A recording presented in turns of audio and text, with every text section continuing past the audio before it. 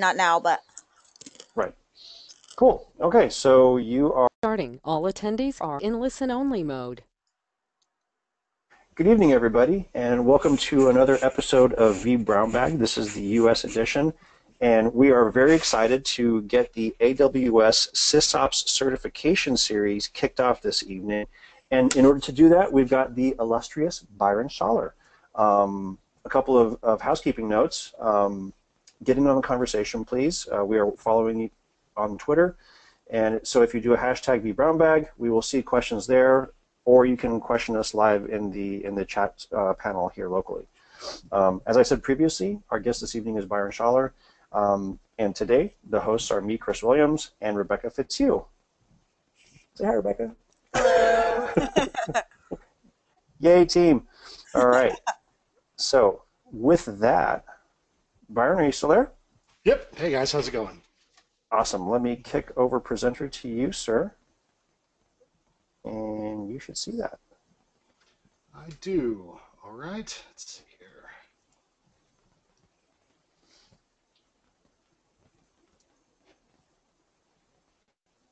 Okay. Can you guys see all that? Uh, not. Yes, yes, I can see your screen now. Great. Okay. So, welcome everybody. Uh, I'm Byron Schaller. I work at uh, Round Tower. Uh, I have my VCDX and my AWS Certified Solutions Architect Pro and uh, Dev Associate. Been doing this uh, stuff for a little while, and let's talk about monitoring and metrics. Whew. All right, so the exam itself, start there.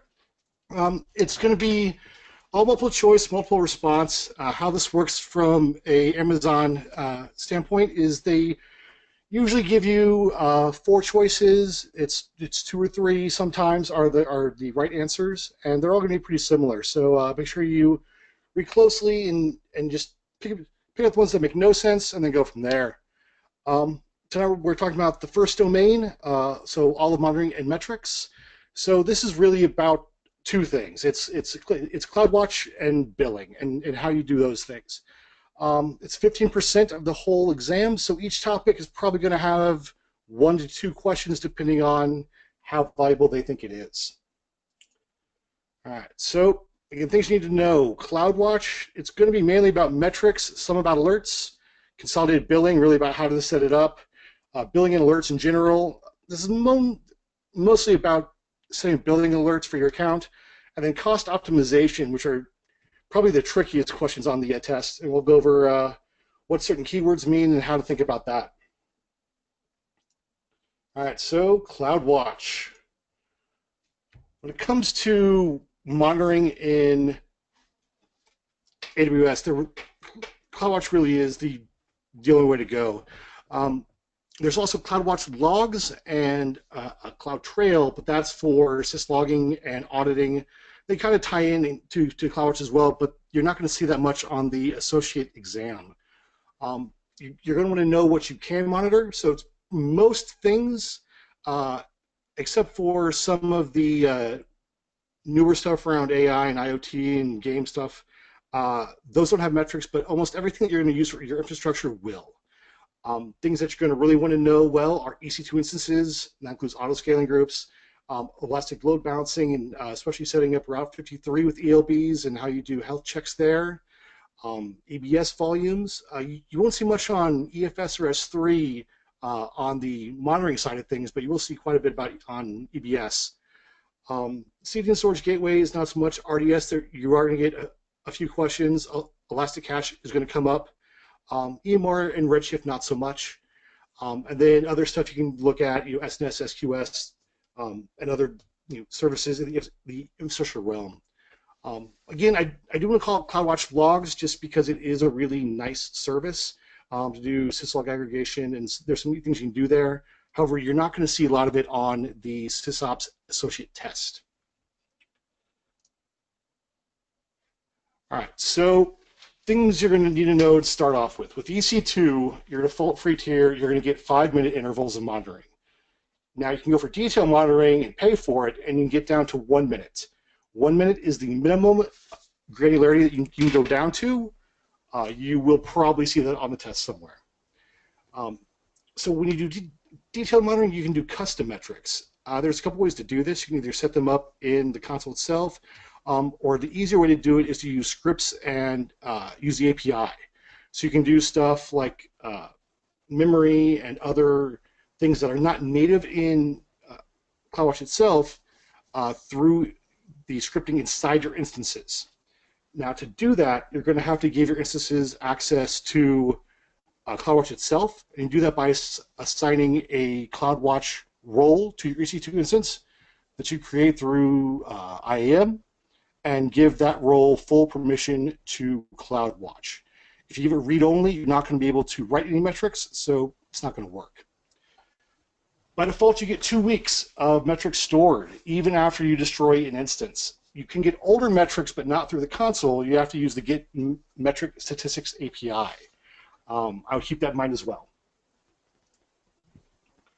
All right, so by default, you're going to get CPU, you know, network in and out, disk IOPS, and read and write bytes, and status checks for your EC2 instances. You're not going to get memory. Uh, there's a really good reason for this that's not easy to explain, uh, but you can get memory stats from inside EC2 by scripting it and then writing that out to CloudWatch. However, it's not going to be under EC2. It'll be under Linux or Windows system metrics, depending on uh, what your system is. Also, there's no space usage. That's because EC2 has no concept of space that you're using on your disk. Uh, that's all monitored by uh, EBS or whatever else is on your backend for storage. All right, status checks. There are two kinds of status checks, and you're going to need to know how to troubleshoot them and what they mean. So your system status check is the physical host. So that's the Amazon bare metal hardware that your EC2 instance is running on. If that has a problem, uh, it's either because the network is down, it's lost power, uh, there's something wrong with the host itself, um, and if it's failing, really the best thing to do is to stop and start your instance, and that's going to basically trigger the placement engine, and it's going to end up on a, a healthy host. The second is your instance status checks or so that's your actual EC2 VM itself. Um, that usually means something is wrong with how you set the VM up. Either you used an OS that's not compatible, um, it's corrupt, you don't have enough memory for your OS to boot, or there's something that's just inherently wrong with the VM. Uh, you can try to reboot it. If it fails again, you're going to have to modify the image itself because something with the OS is so wrong it's going to cause it to not boot. Um, when you log into your Amazon console, you see your status checks under your EC2 dashboard. It should say two of two passed, um, and these are the two that it is uh, talking about there. All right, CloudWatch and EBS. Most of this is about you know IOPS and and you know byte throughput, total read time. The thing that you're going to have to really keep an eye out for is volume queue length. Uh, so if you're familiar with the vSphere world and your queue depth and all that stuff, same concepts apply here. Uh, pretty much any uh, I/O that is being you know cached in, into the queue because it can't be serviced fast enough is going to cause this queue to go up, and that's going to cause some pretty terrible performance. Um, you will most likely on the test in something of you know your your EC2 instance is not performing well. Uh, what you know um, EBS metric should you check for your storage? It's probably volume queue length. Or if they say that you have a volume queue length of 2, uh, that's going to lead to your uh, degradation and performance. So definitely keep that in mind. EBS also has its own status checks. Now, this is a little more confusing than uh, EC2. The things you need to know here are, you know, okay, normal, it's fine warning has two different possibilities. So you have degraded where things are performing below expectations as far as Amazon is concerned. You're not really clear what that means, uh, but it's probably something like a disk is out in a, a RAID array, something that, that's that's causing slightly degraded performance, um, or severely degraded, which means that something has gone terribly wrong on the array, although it's still available, you can still write to it and read to it, it's just very, very slow. Impaired has another two options. So stalled means that you basically can't read and write to it, but it is still online. Then you have not available, which is completely offline, and then insufficient data, which means it's online, but it has no idea what's going on. How, how, how you'll see this in the test is it'll ask about um, if you have a degraded uh, a, you know, setting, what volume status check is going to show up, and your answer would be warning, or stalled would be impaired. So make sure that you know these two in which they in which they're you know associated with, because um, that is probably going to come up. All right, monitoring with RDS. So so far, all, all we've really talked about is CloudWatch, uh, but you can also monitor events per database um, under the RDS Events tab. Um, this is going to come up in how to set up an event subscription, which under your um, RDS tab, under events, you can set up an email notification for failovers, um, things like that. Uh, that will come up. And know that you can look at your metrics either per database, per database class, or per database engine type um, under CloudWatch. When it comes to metrics for, for, for CloudWatch, you don't really need to know all of these for the test. Um, they are helpful to just know in general, but the, the ones that you should really care about are database connections, disk queue depth, free storage space, replica or replica lag, you know, read IOPS, write IOPS, read latency, and write latency. So how you'll see this is when they talk about applications that are talking back to your database and there is some kind of performance issue, uh, you should check your connections to make sure that your connections are being closed. If your connections are being left open by the application, that's going to lead to a, a degradation in performance. Uh, disk queue depth is almost the exact same thing as EBS uh, queues. Um, again, if it's getting I/O that it cannot immediately service, it's going to go into queue, and that's going to cause more performance issues, look for that. Free storage space, when you're worried about running out of the underlying EBS storage that's backing your RDS instance, you should set up an alert for free storage space when it gets to you know 80, 90%, whatever you feel is reasonable, um, to make sure that you're not going to you know hit that limit, run out, and then be stuck. Um, replica lag, what that means is when you have read replicas, the replica lag is the amount of time it takes your uh, master database to copy over that data to your replica, to your read replica. So if you have a situation where users are accessing the database or the, the application and they're getting inconsistent or old data, it's probably a replica lag issue, and you would check this metric to see how many seconds that lag is and figure out why that's happening read IO, write IO, uh, and read latency and write latency is basically um, if you're running into those issues, you need to scale up or scale out your database. Okay. Elastic Load Balancer. So CloudWatch and ELB go hand in hand, especially if you're doing auto scaling. Um, they really have to. So one thing that's really interesting is if there's no traffic on your Elastic Load Balancer, there will be no metrics logged to CloudWatch. So if you see some you know, long gaps or whatever in CloudWatch, it's not that it's unavailable, it's just that there's no traffic, so it's not logging anything. Um, things to know here, you know, healthy count, or host count, unhealthy host count, pretty straightforward. Um, request count, how many are, requests are coming into the ELB latency. So latency is the amount of time it takes the ELB to talk to the EC2 instance backing it, and for the EC2 instance to respond back to the ELB. Um, so it's round trip from the ELB's perspective.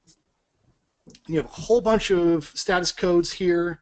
So the thing to know on the HTTP code ELB, you know, 4 and 5XX, those are 400 and 500 being generated by the ELB itself.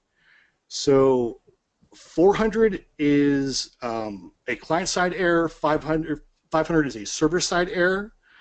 You're probably not going to see these. If you do, there's something pretty inherently wrong with your your configuration. Then your backend error, you know, 200s, 300s, 400s, and 500s. 200s are, you know, good. To, like you have your HTTP 200 OK. Those are, you know, good responses. Threes, fours, and fives are bad uh, for different reasons. Uh, that's going to see if uh, you have some problems on, your backend EC2 instance. That's going to come up there. Um, same with backend connection errors. If it can't connect for whatever reason, either your sockets aren't being released or you need to scale out, things like that. The things that are going to come up on the test, though, are the last two, surge queue length and spillover count. So surge queue length is when the ELB is trying to hand off a request to the a backend EC2 instance, and it can't, for whatever reason, there's no uh, uh, open connection for, for it to go to, it's going to go into the surge queue. This is really bad. Um, it's going to stay in the surge queue until the the connection can, can, be serviced. Again, if you're having a surge queue length of two, three, more, um, you, you you need to add more instances to your uh, autoscaling group, and that'll fix that. What's even worse is when that queue fills up, you get what's called spillover count. And spillover count basically means that the queue is full, there's nowhere for that uh, request to go, so it just gets dropped. Um, so the end user never gets notified of that drop, so from a user experience, it's really bad. Um, but if that's happening, uh, your application is going to have some serious issues. Uh, those two will most likely come up on the test in some way, shape, or form. Elasticache. So the thing to remember about Elasticache is you have two types of backends. So you have Memcached and you have Redis. And because of you know how they are structured and you know how they both work, they have different options. Uh, metrics mean different things, and you should do different actions on in response. Um, this is really important for the test. You're only going to see a couple questions about Elasticache, most likely, but you're going to need to know how Memcached and Redis are different, and what that means from a, a metric standpoint. So there's four main things to care about here. Uh, first is CPU utilization. So the weird thing here is Memcached is multi-threaded and Redis is not. What that means is that a you know, CPU utilization means what it says for Memcache, but not for Redis. So if your CPU is running at 90% utilization for Memcache, that's totally fine. Um, you may want to add more, or if it's not exceeding that, just leave it as it is, and it's going to run okay. On Redis, since it's not multi-threaded, you have to divide your overall CPU utilization by your number of cores. So if you're at 90 or 9% utilization is what you want, uh, you need four cores, then any CPU utilization over like 22.5% is bad. Um, so keep that in mind when looking at these metrics, depending on your backend, and you can know how to address that. Swap usage, so your swap file that you're going to get for Elasticache is going to be the exact size of your memory. Um, over 50 megabytes is probably pretty bad for swap. Um, basically, scale up, add more memory. Um, swap usage doesn't apply for Redis at all, which is weird. Um, it uses the reserved underscore memory metric instead. So know that difference there. Um, evictions happen when your cache is full and you get a new cache hit, uh, the oldest uh, cache hit uh, stored is dropped, and that's called an eviction. So it's really up to you and your application team to decide what to do when you start getting evictions, whether that's okay, um, or whether you need to increase the size of your cache. So depending on Memcache and Redis, you do, do different things. On Memcached, you can scale up or scale out. You can add more, more, more resources to your instance or add more instances. On Redis, you cannot scale up. Um, you cannot add more resources. You can only scale out. Um, that will probably be on the test in some shape or form. Concurrent connections are another really variable thing. So you can't make a hard judgment. You have to really talk to your you know app devs and figure out what they think is appropriate and what makes sense, and then settle an alarm for when that threshold is exceeded, and then act accordingly depending on what your app devs think you should do.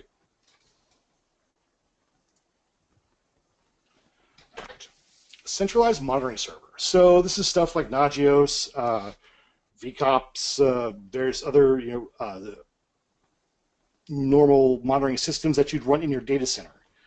you're going to see a couple questions on how these interact uh, with AWS in general, and really, it's probably going to come up in the form of connectivity, uh, security groups, and how it's connected either uh, on-prem or between VPCs. The thing to know here is it's probably going to say your central monitoring system can't uh, talk to your instances, uh, so can't monitor them for whatever reason. Um, this is going to come down to either ICMP or sp specific ports being opened up in the security groups uh, in the proper VPC. Um, that's that's going to solve your problem. Uh, just make sure that uh, that network traffic is allowed from the client on the EC2 instance back to wherever your centralized monitoring server is, whether you're on-prem or a separate VPC, and that's going to solve your problem. Um, there may be a question about this. If there is, there's only going to be probably one on the on the test. CloudWatch alarms. So there's not a lot to know here. The first thing it really is, you know, alarms can be created for any metric, including custom metrics, and all alarms include a threshold and a triggered action. So a triggered action can be a number of things. Uh, it can be notifying a topic and sending an email. Uh, it could be you know auto scaling. It could be a number of things. It, it really depends on uh, what metric you're choosing, what your you know, options are going to be. So just know that that you can do that. Um, on the DevOps Pro test, you need to know a lot more about this. But for the SysOps associates, know that you can set them, know that you need a threshold, and know that you need a triggered action. Billing alarms, this is interesting. So you can only edit billing alarms in the U.S. East North Virginia region. Even if you're in Singapore or you know Ireland, doesn't matter. Uh, you have to change your region to U.S. East North Virginia to edit your billing alarms. Um, billing alarms have two different uh, things to do. You basically set a dollar amount that you want to be notified at, and an email to send that notification to. Uh, the free tier gives you 10 alarms at this and 1,000 emails per month. Chances of you seeing that are pretty much zero. Um, that's, that's really it as far as billing alarms go. So billing in general. First thing you're going to need to know about is consolidated billing. Uh, if you've taken any of the uh, solution architect exams, this comes up quite a bit. Uh, it comes up less in the SysOps exam, but you still need to know about it. Really, all you need to know is that you can link accounts under the billing and cost management menu. I think that's actually changed now, but that's what it's called on the test. Um, not on the test, but things that you should know is that if you're going to do consolidated billing, best thing to do is to have an empty master payer account. So an account that has uh, basically no resources and is just used for the logistical reasons of being a consolidated billing account. This is for a number of really good security reasons and other stuff, um, but that's how it should be set up. So why you do this is you can leverage your discounts across all accounts under consolidated billing. You can also leverage your RIs across all accounts under consolidated billing. So if you have a reserved instance in one account that for some reason you're not using, you can allocate that same RI to a different account under the same consolidated billing master and use it you know, as you will. Um, this makes a lot of sense for managed service providers. There's a lot of money to be saved by doing this. Um, or if you have different BUs under an enterprise organization that all want to use AWS but have their own control, there's a lot of money to be saved with consolidated billing. Uh, that's pretty easy to set up. So here's where things get really confusing. Um, so EC2 cost optimization. So there are three different kinds of EC2 instances. You have on-demand, reserved, and spot price. On-demand basically means you're going to pay whatever the going rate is for an, an on-demand instance, and AWS is going to try really, really, really hard to make sure that when you need it, it is there. It is not guaranteed, um, although I've never tried to launch an on-demand instance and been denied. I've heard of folks who have been. Uh, but know that you are not guaranteed the instance when you go to launch it if it's an on-demand instance. A reserved instance is guaranteed to be able to be launched when you want to use it. With reserved instance, you also get a lower price than on-demand instance, but you sign up for a contract uh, for I think it's one or three years, and you pay for that entire duration of that contract, used or unused. Um, on demand's only when it's powered on. So thinking of spot price, where you basically bid for instances. So you set your spot price, and whenever the cost of the instance goes above what you're willing to pay for your spot price, your instance is in, not instantly, but pretty quickly terminated, just out from under you with no warning, uh, and goes away.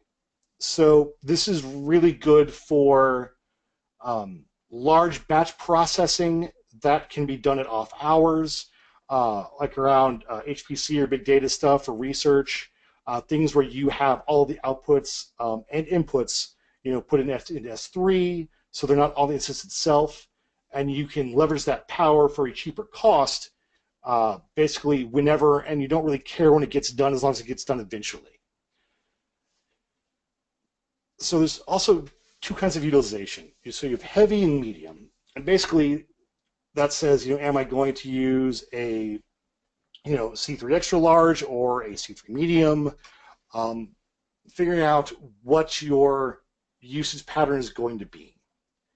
So this is going to come up in the test in the form of they will give you a scenario. Uh, say, you know, you have a web application, an auto scaling group. Uh, it needs a couple instances to run all the time. Uh, you know, during the day it may use six, and night maybe you know four, and then every once in a while you're going to peak up to you know 10 to 15 on a couple of peak days. So how should you deploy that? You know, and it's going to give you a you know whole list of options that includes some kind of reserved instances, some kind of on-demand instances, and maybe some kind of spot instances. Um, and there'll probably be some kind of heavy and medium utilization language in there as well. The key here is that you're going to want to choose heavy and reserved for the bare minimum it takes to keep your system running at all times. After that, you're going to want to pick medium and on demand for your you know, kind of daily spiky stuff. Um, and then you're going to want to pick, or maybe heavy and on demand, it depends. Um, and then medium and on demand, or on demand for your seasonal spiky load stuff. Almost never going to select spot in this instance. In fact, it's pretty rare you're, you're going to select spot at all. Um, the only time in that kind of question when you would select spot instance is if there's no time frame where you care that the work is done, as long as the work is done eventually, and the inputs and the outputs to the data is stored elsewhere from the instance, and there's no customer-facing application that is reliant on that instance. Because if you have a customer-facing application that's reliant on a spot instance running, and then your spot price is exceeded, and all of a sudden that instance no longer exists, that impacts you know a negative user experience, and that's that's bad. You, you don't want to do that. Um, so just keep in mind that spot's usually not the right answer unless you got those weird batch load kind of things. Um, and always pick reserved for the minimum you need to run your entire.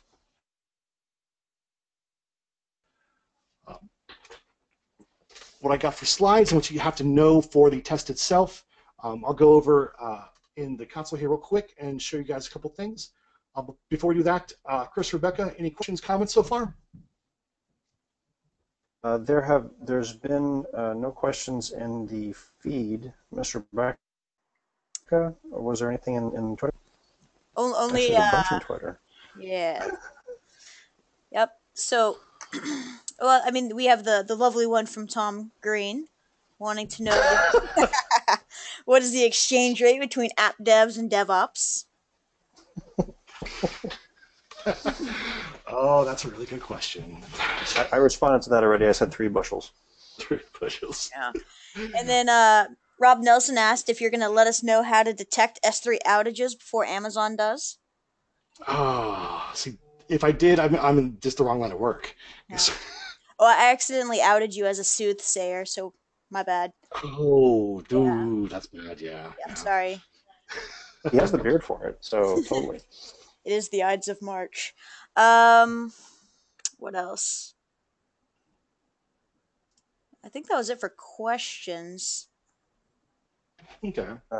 Nothing. Some statements from Rob Nelson about setting up alerts. Yep. Um, say, saying, you know, setting up two alerts, one for two dollars and then one for five dollars, so that you can track your patterns and everything. But um, yeah, no, I, I- I think we are good to go. Oh, I, I just saw scales. Oh yeah, don't mind those. I recognize those immediately. Uh, trying to get that. Up. Oh, that's not working. Okay, I'm gonna make a new one. All right, bear with me one second here, and I'll get uh, my console.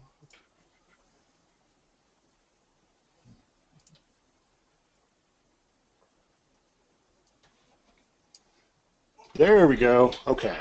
Can you guys see that? Dun, da, da, da. Yep, the new console. Yep.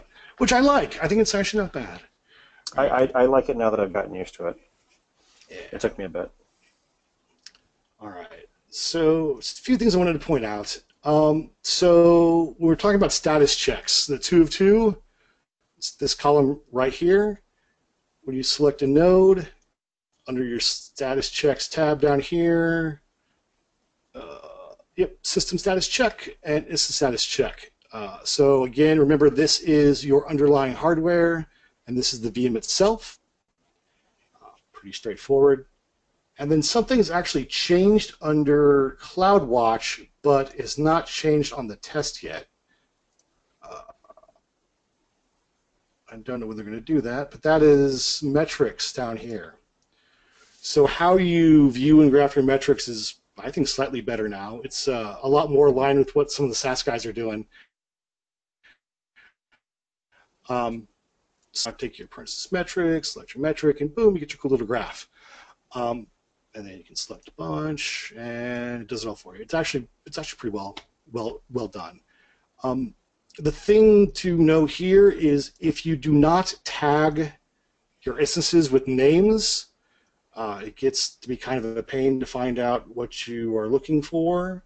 Uh, so make sure you use good tagging. Um, billing is here for alarms and also on the billing side. Uh, I don't have access to billing on this account, so I can't get to it, but uh, that's where you, where you would find it. Um, events, this is when where you go to create a rule, pick your event source, your pattern match, and you can add your add your targets and set all that up all under here. All all this stuff is pretty intuitive and straightforward. Um, there is a couple things you should read, uh, probably before going into the test. Oh, one thing I want to show you here. Uh, under IAM. All right. So when you want to create a role for your EC2 instance to use, all right. So under IAM, under roles, create new role. Let's call it right. Then under, I think it's on EC2. All right, if you use filter under CloudWatch here, CloudWatch full access is the policy that you want to assign. If you want to write internal me metrics from your EC2 instance uh, out to CloudWatch, eh, you have to have this policy assigned to a role. You create the role. Then under EC2, remember that you can only assign roles when you launch a new instance. Uh, let's do T2. Under here, we're going to click, click our CloudWatch write role under IAM roles when you make your instance. Once your instance is, is launched, you can't do this, so make sure that you create that role and assign it before you launch your instance. I don't know if that's on the test or not, but uh, it is definitely worth knowing. Um, so, uh, things you should read if you are so inclined before you take the test. Uh, there is the AWS um, Linux uh, user guide, I think it's called. It's like 800 pages, it's something crazy. Um, has a ton of detail about monitoring and utilization and things like that. Um, it's way overkill for this test, but if you read that, you will definitely be prepared. Um, I would highly suggest reading it before you take the Solutions Architect uh, Pro or DevOps Pro test. Um, but it's a really, really good place to start. That that's on that's in the AWS uh, website, the documentation for Yeah, Linux. It's a white paper. Here, let me find the, find find what it actually is here. Uh,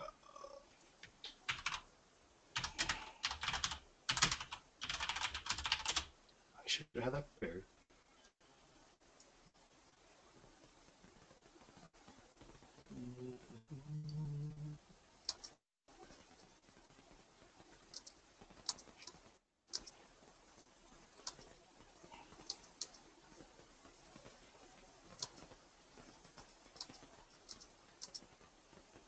Feel free to talk among yourselves. Oh no, it's it's okay. We're we're um we're, we're furiously answering questions and and uh, re- responding to snarky com- comments on Twitter. I'm sure there's plenty of those. I expect a less from my friends. Everybody showed up to encourage you. Good. Good for them. All right. Um,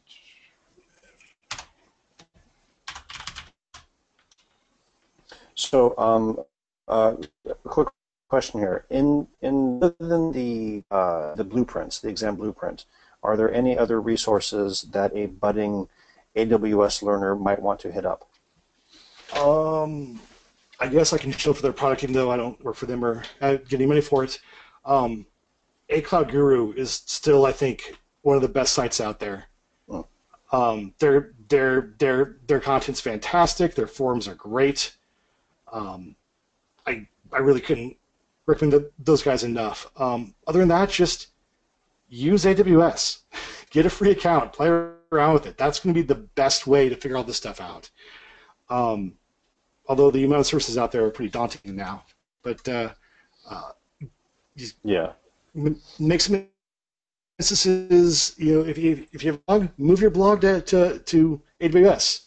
You know, throw it behind a autoscaler group with an ALB, and you know, throw your WordPress database onto RDS, and you do stuff like that, and you'll pick this stuff up pretty fast. Um, other resources out there. Let's see here. Um, For, for those that don't know that are listening, uh, you can sign up for a one-year free AWS account. Um, for, uh, it's called the free tier. It's everything's not free, but but there are but a lot of the stuff, the T2 micros are free. There's there's there's some some good flexibility, and you can play with a lot of stuff without without spending a cent. You can do a ton. I mean, there's a bunch of sites out there that actually run their full sites on, on the free tier. Um, it's really quite amazing what, what they will let you do. I need to flip mine over to it. I highly recommend it, um, especially if you use Lambda. There's some really cool stuff you can do. Uh,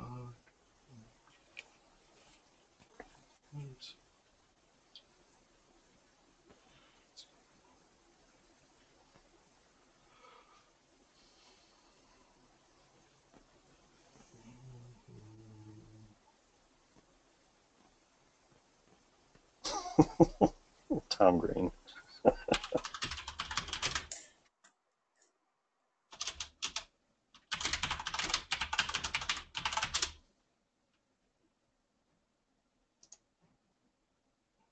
Ah, there we go.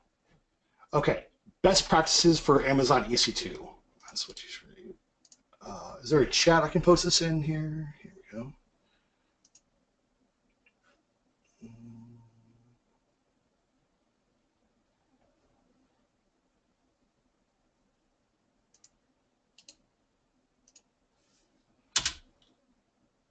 Nice. And uh, go, go ahead and throw it up in the uh, in in the screen for the recording as well. Oh, right. Yeah, there's that. There we go. Um, Awesome. Yeah, so all the stuff here, all the links it goes through. If you go for specifically for this stuff, um, monitoring.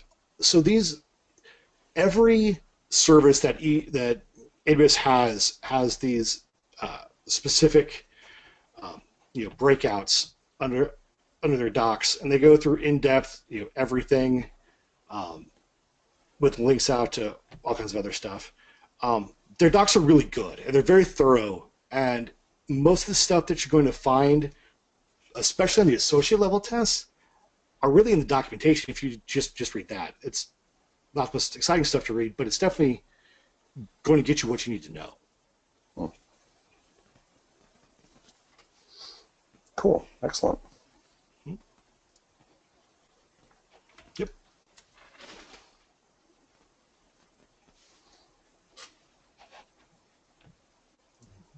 All right. So, um, Mr. Rebecca, are there, are there any other questions in in uh, Twitter? Uh, Ken asked, Oh. "What happens when your one-year free tier of AWS ends?" I would pay the seven dollars to keep going. uh, Not good enough. no, seriously. Um, no, it's if you are not running like you know a full commercial business, it's you can get by for, for pretty cheap. Um, it may not be free, but it's it's not terribly expensive. Um, the best thing to do if you're paying for it is turn your stuff off at night, or better yet, set up a, uh a simple workflow to do it for you. Um, if you're not actively using your lab and that's what it's up there for, you know, power it down. Um, if you are running your like you know personal blog on there, just set your auto scaling to you know as bare bones as possible, and really check out and monitor it. Make sure that you're making the best use of, of your cost possible. Um, you're you're going to see pretty quickly that you can run, you know, a lot on, uh, especially from a personal blog site, um, on very very little resources. And so just be mindful of that, and uh, you, you can do it for, for not very much.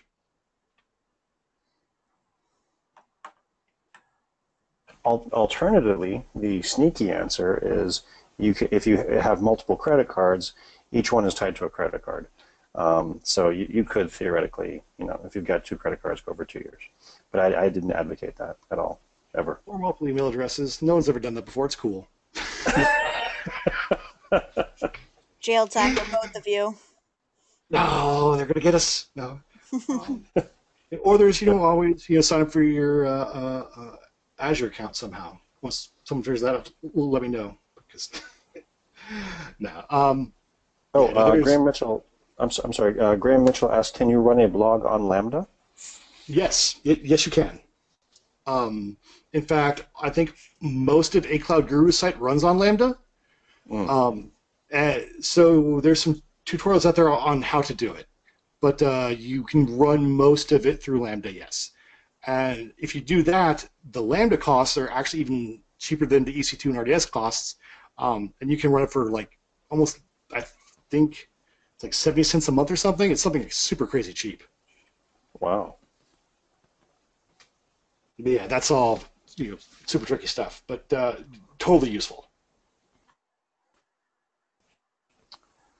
I wonder if they have a WordPress port into the so that you could just uh, dump everything over into it. It'd probably be easier to run Hugo, but probably, yeah. Oh, I'll have to ask you about that offline then. Sure. Uh, cool. Okay. Well, um, other than that, no questions on on the feed internally. Uh, wait, am I am I wrong? Oh, Graham. uh, no, no. Okay. So so I'm I'm clean for questions internally. Miss Fitzhugh. Uh, nothing on Twitter. Cool. Awesome. So uh, was was that it, Mr. Schaller? Yeah, I mean it's it's uh, this stuff's pretty straightforward. Um, you know, it, once you get through uh, most of these vBrownBag stuff in the series, you guys should be good to go for the exam. Um, I do highly recommend taking the practice exam. It's like 15, 20 bucks or something. Uh, Mhm. The questions are almost identical to what is on the test. I found in almost every case. If not, they're like they changed the name of the company or something. Um, but it's very reflexive of what you're going to see when you take the actual test. And if you're doing well there, then you're ready to go. Excellent. Fantastic advice. Thank you. Cool. Okay. So so um, we're we're out of questions on the inside, and we're done with questions within Twitter. So I'm going to go ahead and stop recording now. And we're good. Thank We you, Mr. Schaller. That was Yay. fantastic. Yay!